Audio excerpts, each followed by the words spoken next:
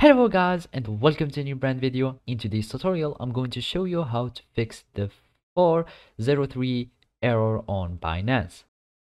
So now all you need to do is to open your web browser either it was Google Chrome, uh, Mozilla Firefox, Microsoft Edge or any browser that you are using will do the work. After that you will need just to search for binance.com and then it will take you to the Binance. So basically this is just uh, another page of Binance but all you need to do is to go to binance.com and it will take you to the main page or to the main website.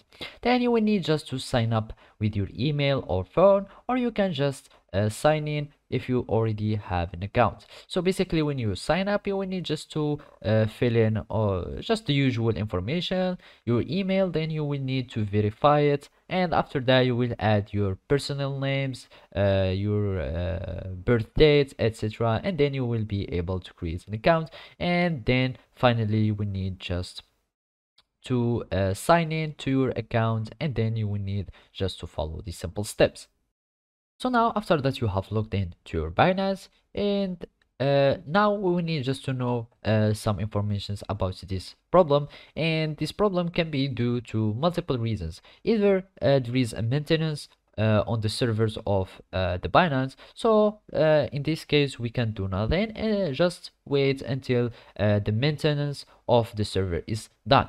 Otherwise you can just try refreshing the page so it can be a problem. Otherwise it can uh, just be the problem of caching. So you will need just to clear uh, the history or the that data of your browsing. So you will need just to go to the settings here in your browser and then you will need just to search for some uh, more tools and then here we'll find clear browsing data.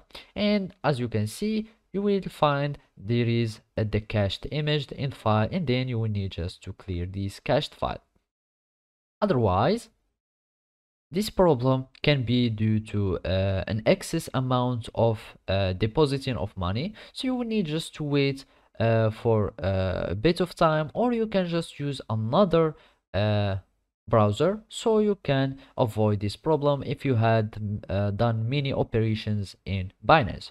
So basically this is how you can fix this problem. Thank you for watching and see you next time.